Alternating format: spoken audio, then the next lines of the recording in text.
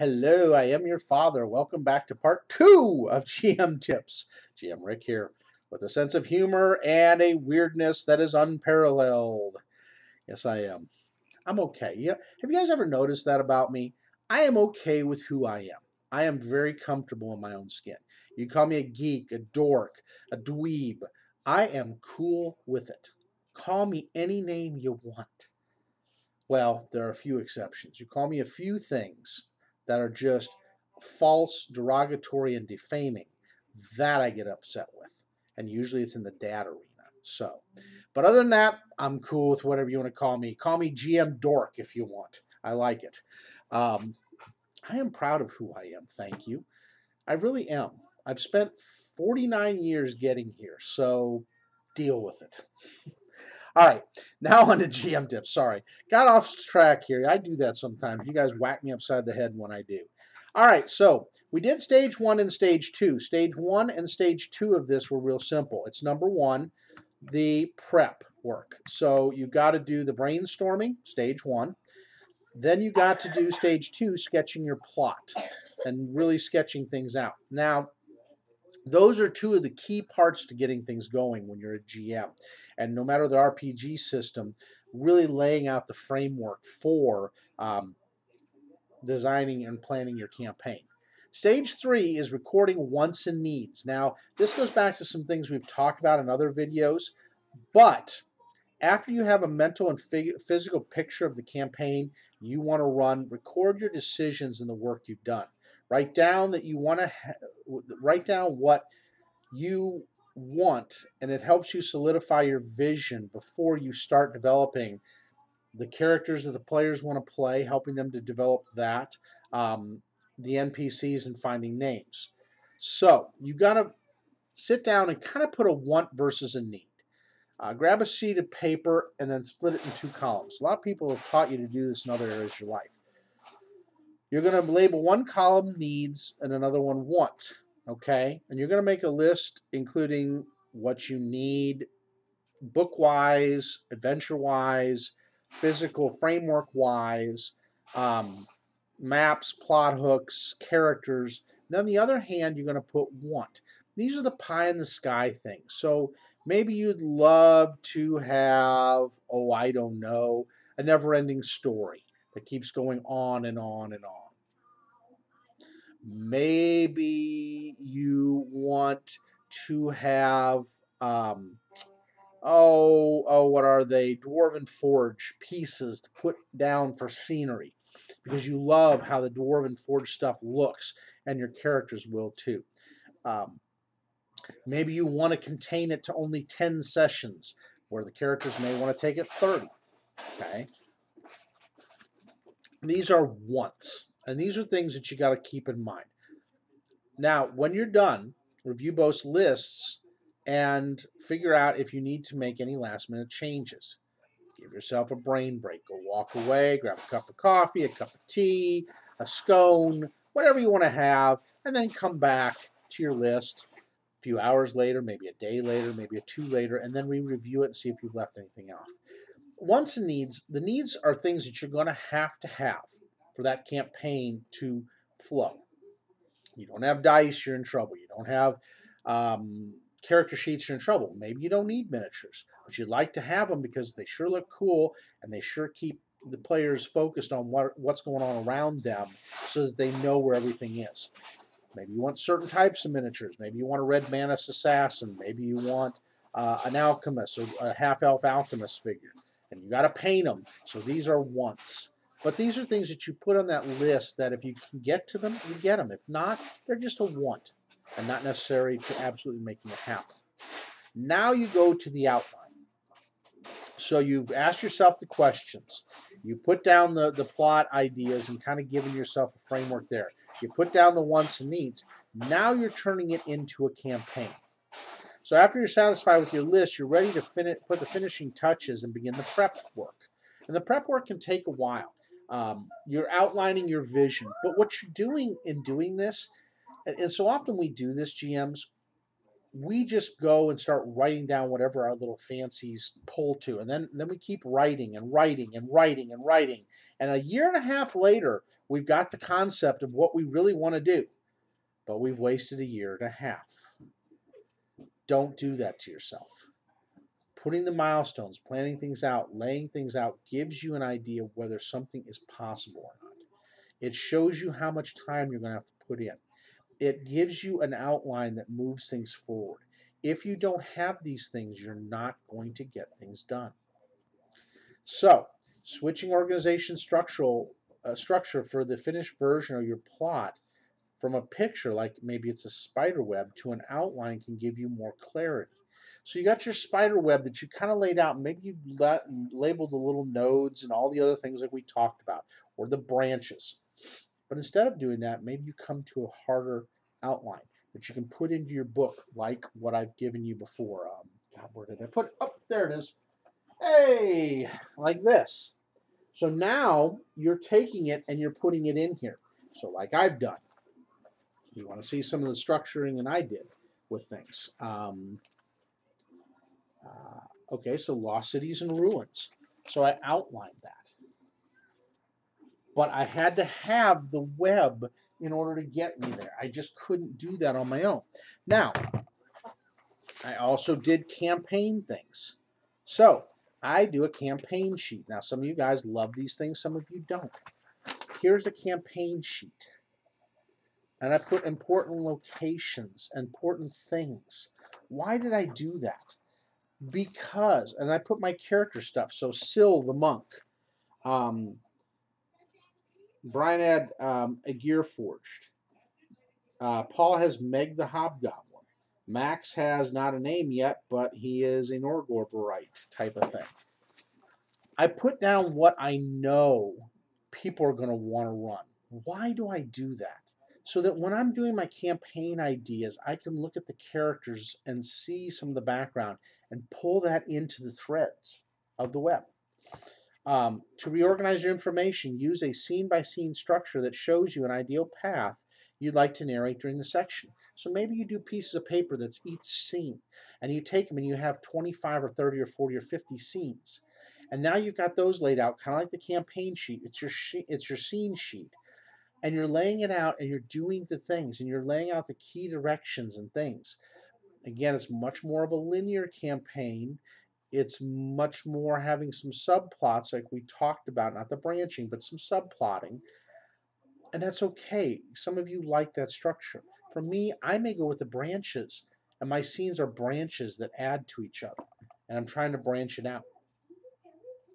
Um, then you can add optional scenes and mark them clearly as optional. That's the branching concept, where you're laying optional scenes out there are subplots that they can go take that lead them to the next one. And then story rewards and milestones should be written down as well.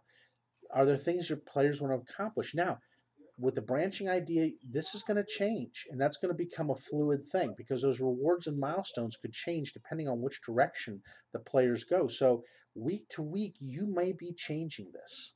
Again, I'm adding stuff that isn't on this in the the Kobold Press ideas. And it's no offense uh, to Monica because Monica's a great writer. The things she's laying out here are really good. I'm just adding some things from the other books and my thinking that will give you a little more of an expansion to it. Um, so, the four stages challenge you about how to build your campaign. Now, I'm going to add in some optional fifth and sixth stages. All right. The fifth stage, write out a path with your players objectives. So, like I told you in this campaign, I've got several people in this campaign. So let's go to my plot campaign things. All right, I'm going to go back to my campaign sheet here. Give me a second to do that. I just passed it. And that's horrible that I did that because there it is. All right, so this campaign sheet. Let's go back to the campaign sheet for a minute and end this. And, and by the way, this is a blank campaign sheet. You can take it and scratch out Pathfinder if you want. That's fine. Uh, you'll find it out on the Paizo website, but it is a good resource to have no matter what the system. All right. So let's take Meg, the hobgoblin. All right. Meg came from the Ironclaw tribe. She was enslaved by that tribe over in Tian Xia and sent over on a ship to serve as some things that probably you guys won't be too happy with. She was great, as I call it, because people don't like the R word. Um, that's his concept, and I'm okay to flow with it. Again, not a great subject, but it builds on who she is. She became stronger because of it and is now trying to forge her way to strength as a kineticist and hydrokineticist.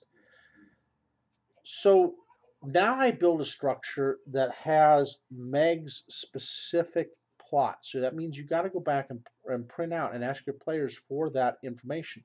Paul provided me with two pages to three pages of information. I appreciate that.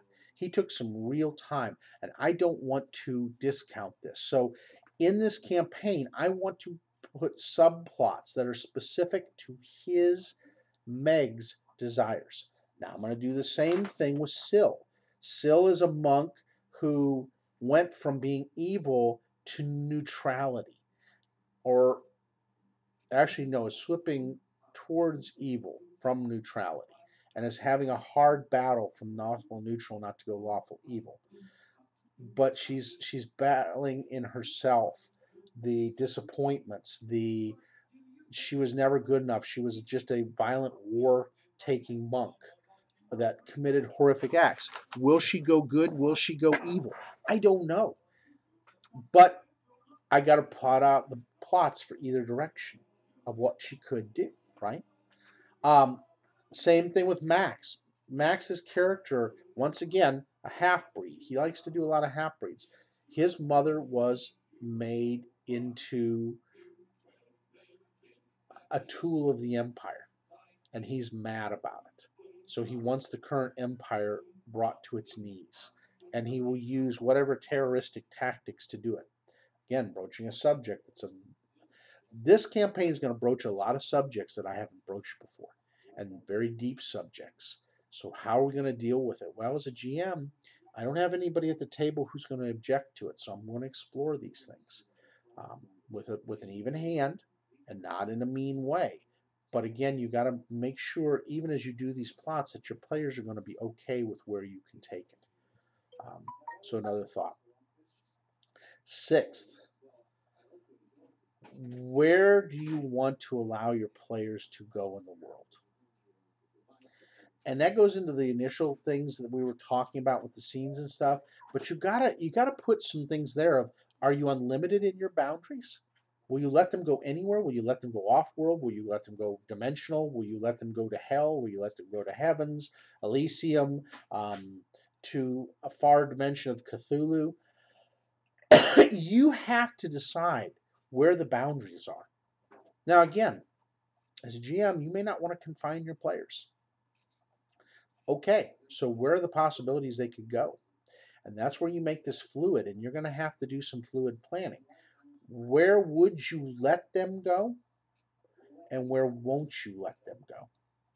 And you got to write these things down so you have your boundaries set. And so even when the players broach those boundaries, you say, fine, whatever way you want to go. Or you say, nah, I really don't want you going there because this could get way out of hand. And I kind of want to keep some semblance of a structure around it, not being hard and fast, but I do want to keep some semblance. And your players will either respect you and enjoy that, or they will go nutty on a fruitcake and you'll let them go whatever direction and it just goes all over the map. It's okay whatever way you want to do. You have to decide this ahead of time. And that's not in the prep stuff. And, and sorry, Monica, I'm adding a little bit to your stuff. And, and, and Wolfgang, I'm adding a little bit to the book. But this is where I would put some add-ins on just different things where it goes a little bit beyond. Um, do you allow organized religion in your world or not? Or do you allow atheism as a religion? Do you allow, again, these are some real world concepts, but it affects the boundaries of that world. Is it a world without religion? Is it a place without religion? How anti religion are they? How pro religion are they? Is it going to throw in some hooks and things that aren't there? Again, this goes into the planning ahead where you have to kind of say yes, no, maybe. Um, my players, two of them lean a little more religious, two of them don't. Actually, three and two. I am indifferent either way as a GM because I'm secure in what my belief is no matter what you play in the game. Very secure. So, but each player has a little bit different spin on it. And you got to make sure it's okay with everyone to have these type of settings. Um, the dogma can get heavy in the campaign, and you got to ask yourself: Do I want the dogma? Do I not want the dogma? Do you want to broach subjects like LGBTQ subjects or not? That's up to you. But you have to sit and discuss it with your players ahead of time. At a session, perfect example, Pathfinder Society. Two polyamorous players came in. And they told us we're polyamorous. They're very outgoing about that. Can we run our players as polyamorous? Like, okay. Any objections? And they're like, no, no, no. I'm like, all right. We had so much fun and laughter because I let them do that. The, th- those two will walk away. They've never played. They played D&D 5e. They've never played Pathfinder. They had so much fun. They, they the, the reason they had to leave was they had another event they had to go to, but they were loving it. They were there to the very ragged edge of when they had to go. And I wish I would have gotten to talk with him a little more. My uh, my fiance at the time, Kim, came up. We were talking, um, but I wish we would have had more time. I really do. It was a good thing. So you got to plan certain things in, and you have to decide which of these things are important to you and which of them are not. Um, I'm not going to tell you what to do in this because it's your world. Do what you want to, do what you want. But I know you guys are laughing. Again, GM Dork, having too much fun with this. But you have to plan this in. You have to decide. Talk it over with your players ahead of time, especially if it's a known group that you work with and you know how they're going to feel. Plan this in with them. Otherwise, what's going to happen is you're going to have your vision and it's not going to be what they want. And really, like we talk about, the players are the ones who write the stories, not us. We write the framework. We are developing the framework of their story. But that's all it is. At the end of the day, it is not our story. And it's a hard thing for a GM. We want it to be our story. Say it out loud. I want it to be my story, dang it. I spent the time. Say it because it's what you're thinking. Even if you say, no, no, I'm not. Yes, yes, you are. And just be honest with yourself. But in that honesty, say, but if I make it my story, is it going to be something that they're going to want? Do they truly enjoy that? Or do they not? Daddy, can I blow it out now? Yes, go around and blow it out. Candle, pumpkin candle. She loves these things. It's pumpkin pie candle. Come, blow it out. Big puff. Come on, hit that thing. Harder. Blow hard. Good girl.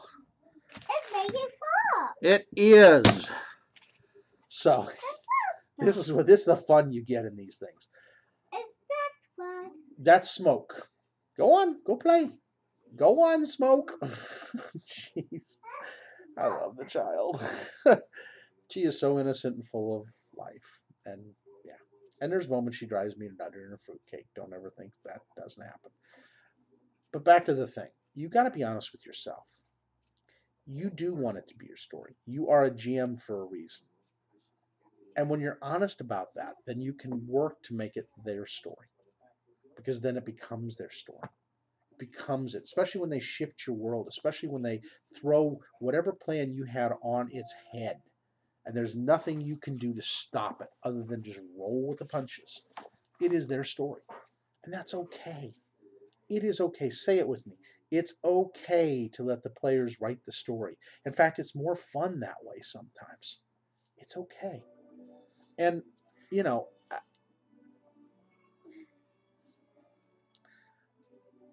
sometimes we have to cede control. And that's the hardest thing because we like to have a structure around us most days, most of us.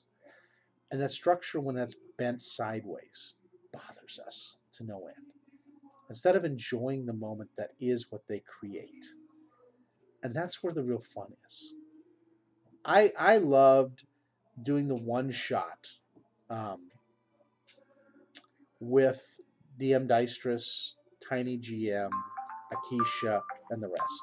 It was greatness. So keep that in mind. It makes it fun. All right, got to grab this call. Have a great week, and see you next time on GM Tips.